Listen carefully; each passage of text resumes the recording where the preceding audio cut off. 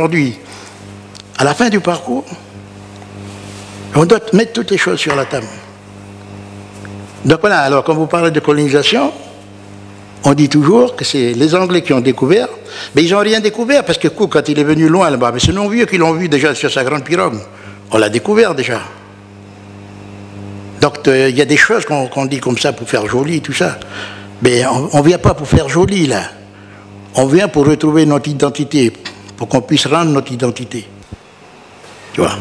Officieusement, ce sont nos ancêtres qui les ont découverts. Mais c'est nos vieux qui les ont découverts avec sa grosse pirogue qui vient de loin, on le voit déjà.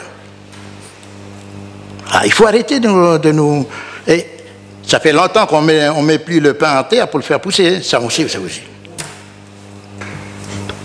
Monsieur Sylvestre Newedou, André Roisé qui vient également de nous rejoindre. Bonjour André. Donc, euh, Monsieur Newedou, vous, en tant que président du comité 150 euh, ans après, qu'est-ce que vous pensez de ce que vient de dire euh, Monsieur Descoiré Il y a la première réaction, donc c'est de dire que l'espace médiatique euh, à travers lequel on, s'exprime aujourd'hui, donc euh,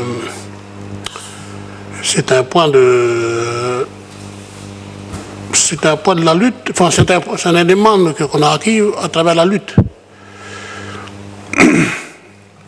Aujourd'hui, donc à travers ce, ce média que représente Guido, donc euh, je voulais remercier donc euh, ceux qui nous écoutent, ceux qui, à travers les quelques émissions qu'on va faire, vont réfléchir donc sur la, suite qu'on souhaite donner donc à,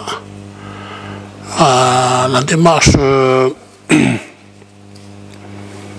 qui a été actée en 88 puis en, en 98 qui est de sortir le peuple de ce pays donc euh, par le haut. Un accord de décolonisation donc a été acté premier temps, dans un premier temps par Chiroka, puis en deuxième temps par euh, le Premier ministre, euh, comment il s'appelle? Socialiste, c'est toujours socialiste. Hein, donc l'accord de Nouméa a été signé sur, sur Nouméa, c'est pour ça que ça porte le nom de l'accord de Nouméa par Jospin, là, par Lionel Jospin. Donc il a fait cet effort de venir en Calédonie pour faire les choses avec nous ici. Je pense que c'est un pas qu'il faut... c'est une action qu'il faut, qu'il faut relever hein, à travers l'évolution des mentalités euh, des Français euh, de venir ici. Donc, euh, pour dire que sa présence ici a été a été, comment dire, donc, euh, a été remarquable parce que il n'a pas eu peur de venir s'exprimer ici pour dire que ben, nous, portons les choses. Hein. L'accord de Nouméa a été constitutionnalisé, c'est pas rien. Donc c'est un peu de la volonté du gouvernement de l'époque. Et je, quand on regarde aujourd'hui, donc 30 euh, ans après, donc on s'aperçoit que ben, il y a des esprits rétrogrades qui veulent euh, nous retirer donc ce qu'on a, a accepté de signer avec les, les, gens qui sont venus à travers la colonisation, donc colonisation pénale et colonisation naturelle, donc euh, économique, on va dire, parce qu'il y a des gens qui sont venus ici pour, pour, vivre, pour se faire donc euh, une vie, donc une situation. Hein. Donc c'est intéressant dans la mesure où euh, c'est l'interpellation forte qui a été faite hein, donc, euh, par, ce, gouvernement, gouvernement donc, Jospin, a fait que bon, le peuple français a acté les choses. Hein. Donc aujourd'hui, quand, on, quand on regarde les événements qui se, déroulent ici dans le pays actuellement, donc, on peut se douter donc, de la volonté d'un certain nombre de gens à vouloir respecter donc, la parole qui a été donnée par, par l'État et par le peuple français. Donc c'est cela qu'on, c'est ce peuple français-là qu'on interpelle aujourd'hui, à l'orée donc euh, la fin de ce processus hein, qui, a été, qui a été mis en place en 88, 98, euh, de respecter sa parole. Donc, l'interpellation, donc je pense qu'il y a des fautes là, donc on, dit qu'il faut, faire cet effort-là. Ce que Narcisse, euh, de Guaré a évoqué là, donc c'est comment les choses sont arrivées ici. Euh, mais la co-responsabilité donc, de, colonisateurs, que ce soit les Français et les Anglais, donc euh, je pense qu'il y, a des choses à, regarder de près. C'est James Cook qui a découvert, mais il n'a pas totalement colonisé le pays. Donc c'est la France, à travers donc, euh, à travers donc la religion, les religions donc qui se sont appropriées pour garantir un certain nombre de choses qui se sont faites ici. Donc. Euh, mais ils n'ont pas demandé donc euh, pas demandé l'autorisation aux gens du pays, donc aux chefferies de, ce pays, à s'implanter. Hein. Ça s'est fait donc dans le droit de l'époque, le droit international, donc euh, surtout européen, hein. donc de s'imposer dans le pays. Donc ils ont considéré que le que Kanaki, donc à l'époque, c'est un no land, donc il n'y a rien. C'est dans ces conditions-là que le pays a été colonisé. Bon, depuis cette époque-là, donc, il s'est passé beaucoup d'événements. Et nous, on tenait un peu à le rappeler, donc, euh, au début de cette programmation-là qu'on va faire jusqu'au 24 septembre, euh, pour, pour dire que donc faut rappeler les fondamentaux hein, de la lutte. Pourquoi donc euh, les gens du pays, donc l'autochtone, à travers des gens donc, qui sont avec lui aujourd'hui, euh, rappeler donc ces, choses-là? Parce que quand il y a débat, il faut débattre avec des éléments qui nous permettent de, porter donc un jugement, un jugement de valeur, parce que souvent c'est un jugement de valeur qu'il faut, il faut porter, pas des jugements euh, par des gens qui sont de passage et puis que. Donc voilà, donc euh, nous on est dans cette démarche-là de dire il faut rassembler, hein, donc comme l'a dit M. De le, thème qu'on a remis cette année, c'est l'identité. Parce que le pays, on doit sortir un pays donc, en créant donc, euh, une nouvelle identité pour ce pays. Comment on le fait? Non, mais c'est à travers des petites choses qu'on va essayer de mettre en place. Et puis, d'où l'interpellation aux autres de venir. Donc, euh, de venir donc, à la rencontre d'un certain nombre de populations qui sont ici, qui vont être présents là le 24. Euh, parce qu'il y a des communautés qui sont présentes. Donc ceux qui ne sont pas là, bon, ben, ils vont toujours s'interroger après. Donc, euh. mais la volonté du, peuple d'origine est toujours la même. Hein. L'ouverture. Mais s'il y a un rassemblement, ça doit se faire autour de l'homme du pays. Donc voilà, c'est ce qu'il faut rappeler. Donc, euh. après, on peut greffer un certain nombre de choses autour pour agrémenter donc, le débat. Mais donc, l'idéal pour que la citoyenneté qu'on veut, qu'on implante de tous les, tous les mots, le vivre ensemble, tout ça puisse se passer correctement, que chacun puisse trouver sa place, mais il faut participer à, ces choses-là, donc, sous, forme de la réflexion qui va se mener. Donc, euh, on dit que là, donc, euh, à partir d'aujourd'hui, donc, jusqu'au 24, donc, il y aura ce, débat-là qui est, ouvert. Hein, donc, euh, parce qu'aujourd'hui, donc, c'est le système, il est fait tel que ceux qui vont décider, c'est les grands électeurs. C'est ceux qui ont été élus. Est-ce que ceux qui sont élus détiennent la vérité? Est-ce qu'il y a une seule vérité? Est-ce qu'ils vont continuer à monopoliser cette vérité-là? Pour continuer donc à, tourner les choses euh, dans tous les sens de façon que les gens ne puissent pas comprendre dans l'intérêt de qui? Donc euh, voilà, donc c'est les interrogations faut que chacun se pose. Il y, a, y a des ouvertures qui sont faites, mais euh, euh, on se pose la question est-ce que le, est-ce qu'on va trouver un moment propice pour que les gens ouvrent leur esprit ben, On a l'impression que tout est fait pour qu'il n'y ait pas ce, temps-là.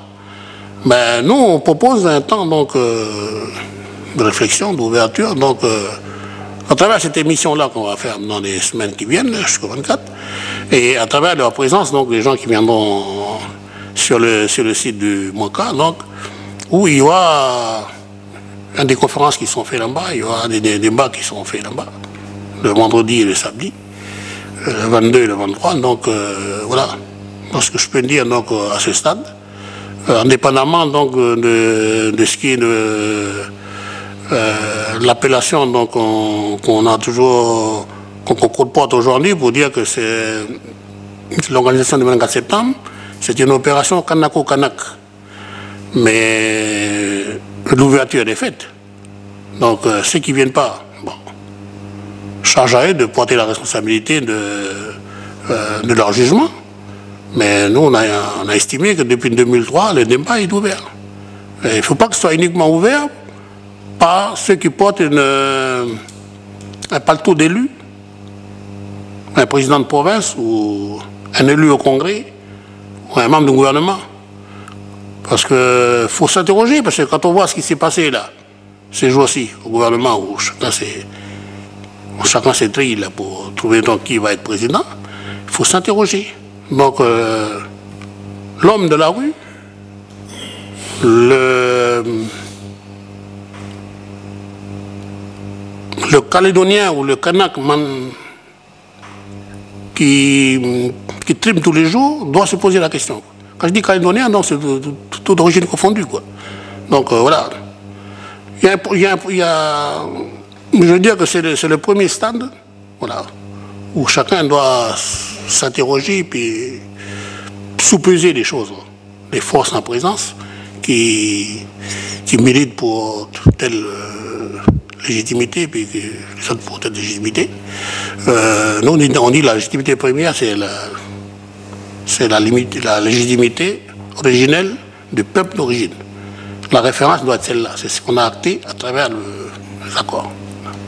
Merci pour D'où l'importance justement de toutes les autres communautés de venir et de pouvoir échanger par rapport à cette identité. Tout à fait. De toute façon, les communautés, il y en a 13. Il y en a 13 communautés. D'ailleurs, euh, euh, les affaires de ces, ces communautés-là sont sur la pirogue. Ils sont toujours avec nous. C'est pour ça qu'à un moment donné, on les interpelle pour dire on arrive à la fin du parcours. Mais qu'est-ce que ça veut dire? C'est la fin du voyage. On arrive à la fin du voyage. Vos affaires sont avec nous. On fait quoi avec? Pendant 13 ans, 14 ans, est-ce que vous avez fait quelque chose? Vous avez œuvré? Qu'est-ce qu'on fait maintenant avec vos affaires? C'est pour ça qu'on les interpelle pour dire mais venez. C'est la dernière ligne droite là, il faut venir. Pour dire qu'est-ce qu'on fait avec vos affaires? Vous venez vous affirmer? Comment vous faites? Parce que le peuple kanak, il a pris sa décision déjà. Même si on dit beaucoup de choses. Mais à tous les cas, le comité 150 ans fait tout pour qu'on arrive à, la fin de quelque chose. Puisqu'après, il y a autre chose à faire. Ça fait combien de temps qu'on se focalise sur beaucoup de choses comme ça Un coup, on étire par lire, et un coup, on étire par là, mais on est assez grand maintenant pour prendre des décisions. On est assez grand pour décider ce qu'on veut.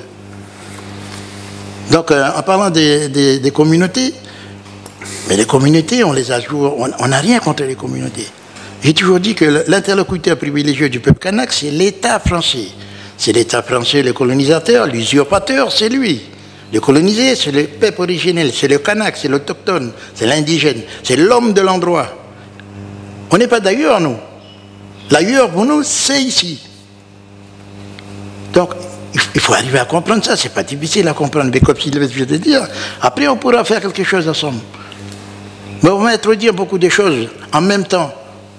C'est pas comme ça, nous on va pas marcher comme ça. Même s'il y a des élus ou des gens de chez nous qui disent comme ça, nous on ne fonctionne pas comme ça, nous. Il faut bien régler les choses avant. On parle toujours, on dit toujours, on parle des Calédoniens et puis tout ça. On n'est pas des Calédoniens, nous. La Calédonie est venue avec ce nom-là que j'ai dit. C'est pour, pour ça que je reviens encore à la responsabilité des Anglais.